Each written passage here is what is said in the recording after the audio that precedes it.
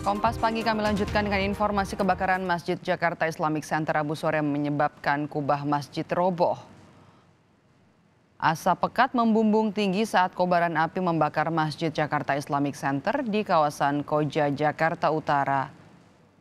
Masjid diketahui terbakar saat sedang direnovasi dan belum ada laporan jumlah korban dalam insiden ini.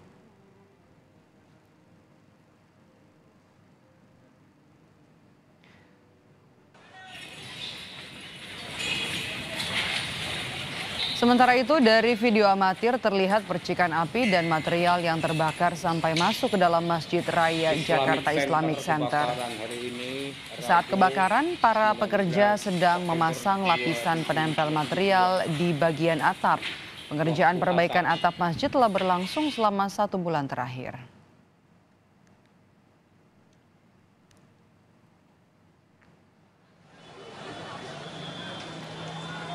Api pertama kali terpantau Rabu sore sekitar jam 3 sore waktu Indonesia Barat. Petugas pemadam kebakaran berhasil memadamkan api.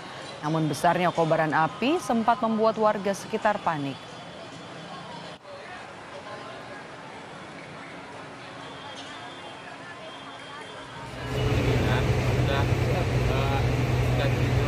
lokasinya tidak ada perlambatan api lagi. Hanya kubahnya saja yang jatuh Apakah ada korban jiwa Pak menemukan ini? Sampai saat ini tidak ada luka, tidak ada informasi dari anggota atau dari masyarakat.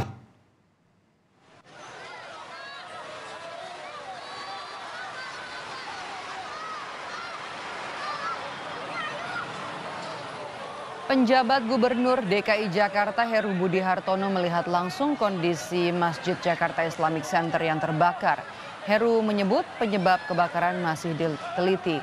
Jakarta Islamic Center merupakan salah satu simbol dan pusat peradaban Islam terbesar di kawasan Asia Tenggara. Dikenal juga dengan sebutan Masjid Jami Jakarta.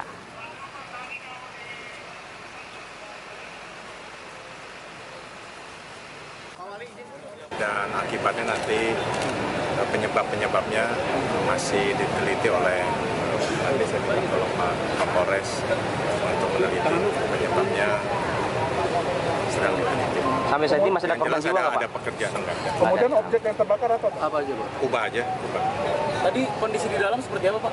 Saya tanya sama Pak Kepala Dinas Kebakaran. Dan penyebabnya sebenarnya Pak? Penyebabnya, Pak? Dugaannya, Pak? Itu kan masih ada pekerjaannya waktu itu, pekerjaan renovasi, pengelasan. Tapi nanti eh, penyebab intinya nanti sedang diteliti ya.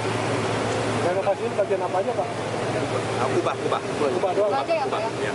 Apinya sudah Udah, udah, udah, udah dilokalisir, dipadamkan oleh eh, Dinas Kebakaran.